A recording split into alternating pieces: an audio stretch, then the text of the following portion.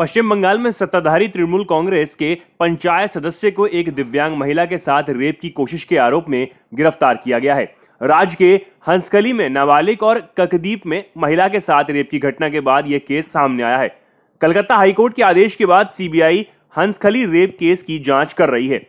दिव्यांग पीड़िता के साथ रेप की कोशिश मिदनापुर ज़िले के पिंगाल थाना क्षेत्र के कालीखुरा गाँव में की गई। कथित तौर पर टीएमसी नेता ने उसे अगवा कर प्रताड़ित किया और रेप की कोशिश की। गिरफ़्तार टीएमसी नेता की पहचान अभिजीत मंडल के तौर पर हुई है। आरोपित को तीन दिनों की पुलिस कस्टडी में भेज दिया गया है। घटना 11 अप्रैल 2022 सोमवार की है। सहायक लोक अभियोजन अधिकारी सैयद नाजिम हबीब ने इस घटना की पुष्टि की।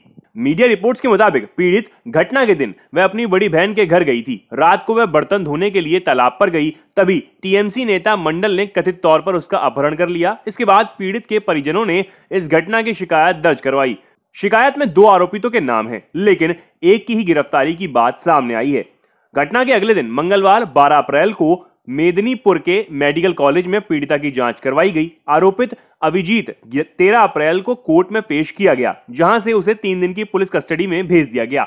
ममता सरकार में मंत्री मानस रंजन भूड़िया ने कहा कि रेप एक गंभीर अपराध है। इस पर किसी को राजनीति नहीं करनी चाहिए। घटना में उचित कार्रवाई होगी, भले ही आरोपित किसी भी पार्टी से क्यों ना हो। वहीं भाजपा नेता तन्मय दास ने कहा, हम सीबीआई जाँच की मांग को लेकर हाईकोर्ट जा रहे हैं।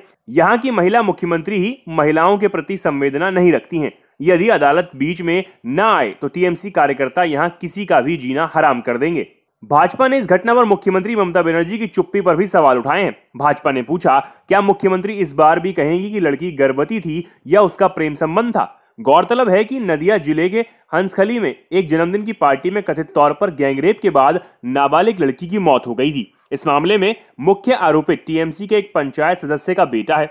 इस घटना के सामने आने के बाद मुख्यमंत्री ममता बनर्जी ने गैंगरेप के दावे पर ही सवाल खड़े कर दिए थे। उन्होंने कहा था, आपको कैसे पता कि उसके साथ रेप हुआ? क्या वो प्रेग्नेंट थी या लव अफेयर का मामला था या फिर वह बीमार थी?